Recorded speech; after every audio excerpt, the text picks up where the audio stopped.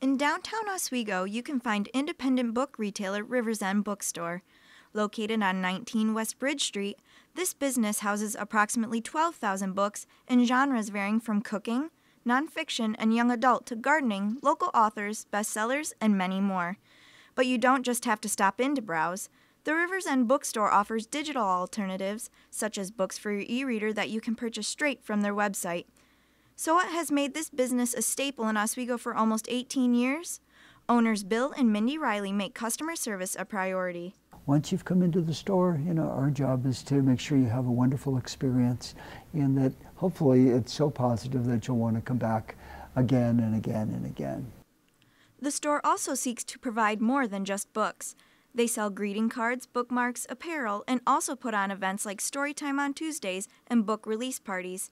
It's easy to see what makes this bookstore so special. We're a spot where both the campus community and the city of Oswego can come together.